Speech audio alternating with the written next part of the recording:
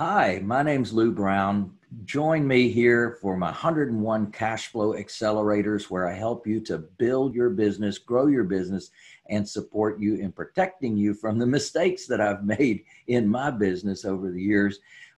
Always be sure that we get a lien waiver from all the contractors that are working on the project, not just the general contractor. You see, the general contractor can give you a lien waiver, but what if they don't pay the under contractors, the subcontractors that have been working under them? The problem is this if they've done work on your project and they haven't been paid, they have the right to come in and lien your project. Oh my gosh, what miserable time in your life would happen when you actually have to pay twice for the same work. Yes, pay the general contractor and now have to pay the subcontractor again.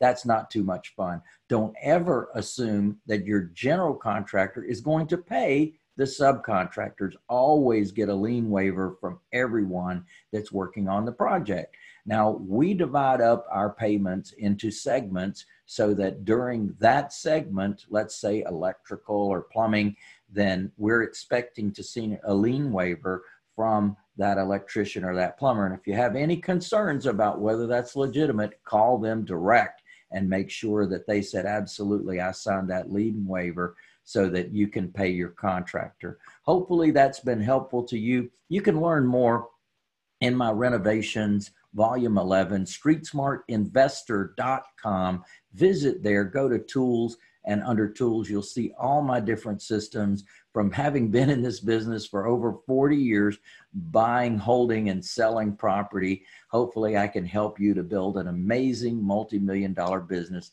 love to share with people how they can duplicate what we've been able to do in this great industry of ours if this has been helpful to you, like it, love it, share it, and I'll see you soon. Yeah, baby.